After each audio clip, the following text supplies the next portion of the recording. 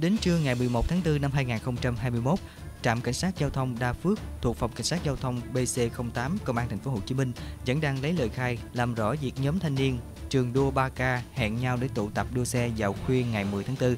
Theo đó, vào khoảng 21 giờ 30 phút tối ngày 10 tháng 4, tổ công tác thuộc trạm cảnh sát giao thông Đa Phước đang làm nhiệm vụ tuần tra tại giao lộ Nguyễn Văn Linh, Phạm Hùng, quận 7 thì phát hiện nhóm thanh thiếu niên khoảng 20 người đang tụ tập nẹt bô chạy xe thành đoàn Lập tức cảnh sát giao thông ào đến thì nhóm thanh niên tháo chạy về nhiều hướng. Riêng thanh niên tên ớt ngụ quận 7 bị tổ công tác bắt được đưa về trụ sở đơn vị để làm việc. Tại đây ớt khai nhận có hẹn với một nhóm bạn trong trường đua 3K để tụ tập đua xe. ớt cho biết mọi người hẹn nhau ở quán cà phê trên đường Quỳnh Tấn Phát, sau đó sẽ khởi hành chặng đua từ khu chế xuất Tân Thuận, quận 7